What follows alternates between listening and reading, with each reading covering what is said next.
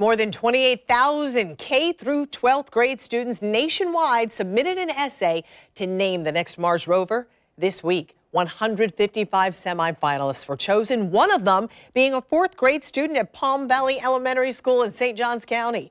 Meteorologist Danielle Uliano caught up with her in her classroom. Kate Hurford is a 10 year old in Miss Link's fourth grade class and has a love for science. She loves space so much and she wants to be an engineer.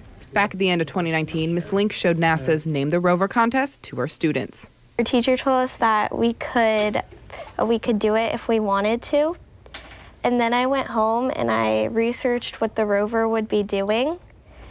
And then I thought of like a prospector. Now all the research has paid off. She came up with a great name.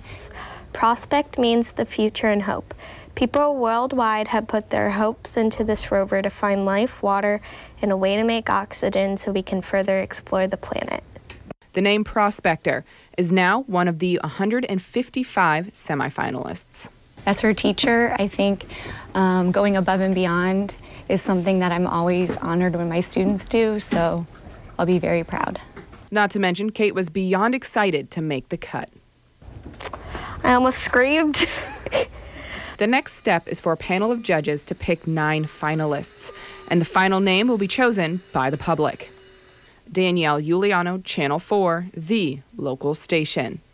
Yay, good for you, Kate. The winner of the NASA Name the Rover essay contest will not only name the Mars rover, but also be invited to see the spacecraft launch in July from Cape Canaveral.